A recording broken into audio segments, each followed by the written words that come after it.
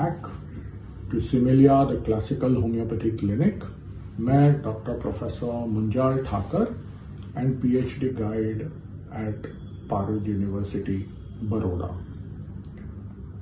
आज एक और इंपॉर्टेंट टॉपिक के बारे में बात करेंगे वो है होम्योपैथी और फीवर्स बुखार तो बुखार को ट्रीट करने के लिए याद रखना है कि treating fevers is a team work team work of the patient and between the doctor normally जब बुखार आता है तो सबसे पहला नीजर्क रिएक्शन है पैनिक कुछ भी करके फीवर को हटाइए।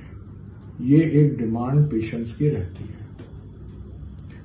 इस पैनिक में काफ़ी इरेशनल गलत डिसीजंस पेशेंट्स लेते हैं।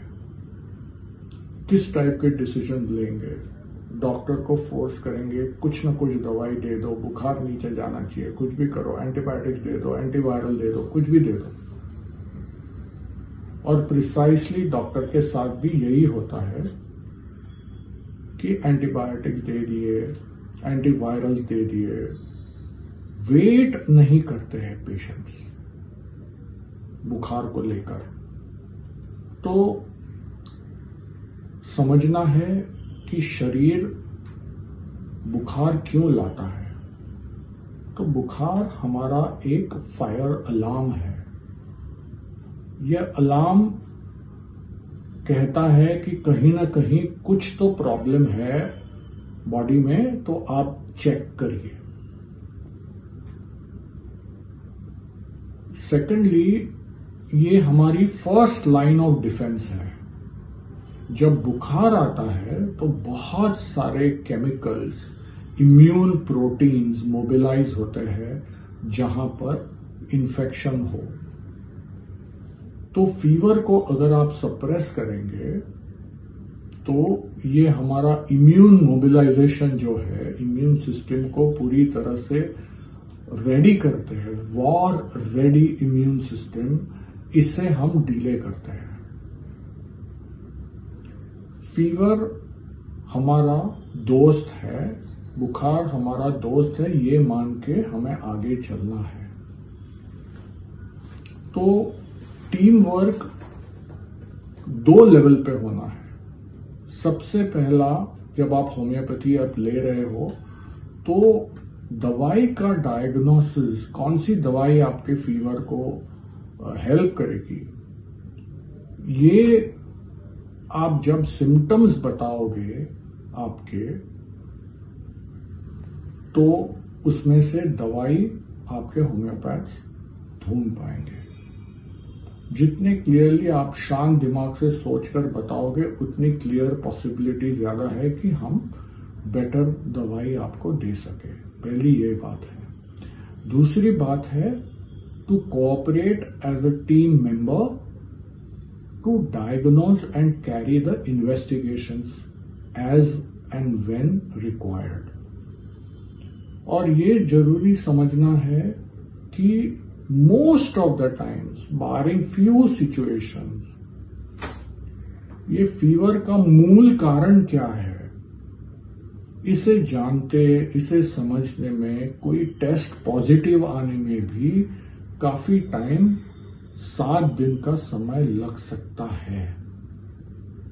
बहुत कम सिचुएशन है जहाँ आपको फ़र्स्ट डे सेकंड डे पर फीवर का मेन रीजन क्या है, समझ में आ जाएगा। जैसे मलेरिया है डेंगी है, ये आपको पहले, कोई एप्सेस है बॉडी में तो पहले दो दिन में समझ में आ जाएगा। लेकिन दूसरे कोई फीवर जो कॉमनली अवेलेबल जो कॉमनली दिखाई देते हैं हमको फीवर जैसे टाइफाइड फीवर है, अब तो वायरल फीवर स्वाइन फ्लू की बात करते हैं, हम लोग कोविड की बात करते हैं, ये सब बुखार की एग्जैक्ट टेस्ट पॉजिटिव आते हुए सात दिन लग जाते हैं। तो पेशेंस रखना बहुत ज़रूरी है। और दूसरी बात, हर फीवर हर किस्म का बुखार अलग तरीके से दवाई को रिस्पॉन्ड करता है। तो इसमें भी पेशेंस रखना बहुत ज़रूरी है। पहला डोज दवाई का गया फीवर चला गया, ऐसा नहीं होता है। जो क्रोसिन पैरासिटामोल मेटासिन मेफ्टाल लेके आप जो बुखार को बंद करते हैं, वो सिर्फ़ एक टेम्पररी मेजर है। जिससे आप अंदर कोई फायर अलार्म बज रहा है, आप सिर्फ़ अलार्म को बंद कर रहे हो। अंदर के आग अब तक जल रही है। तो काफ़ी बार बहुत ज़रूरी है कि बुखार को सप्रेस ना करें। यह आपके होम्योपैथ को सबसे बड़ा सिग्नल है कि दवाई उसकी क्या कर रही है। तो आई होप ये मैसेज बहुत क्लियरली आपके पास पहुँच रहा है। होम्योपैथी से जुड़े रहिए, आपके होम्योपैथी, होम्योपैथ के साथ हाथ मिलाकर फीवर को हम डील कर सकते हैं, आपकी धीरज की ज़रूरत है। आपकी धीरज डॉक्टर को भी धीरज देगी। तो फिर मिलते हैं और तब तक आप सब्सक्राइब करिए शेयर करिए लाइक करिए वीडियो को। Thank you very much